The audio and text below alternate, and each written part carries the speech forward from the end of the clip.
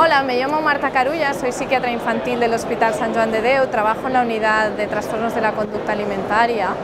Ah, últimamente estamos realizando un estudio piloto con nuestros pacientes con trastorno alimentario en el que incluimos un software de realidad virtual.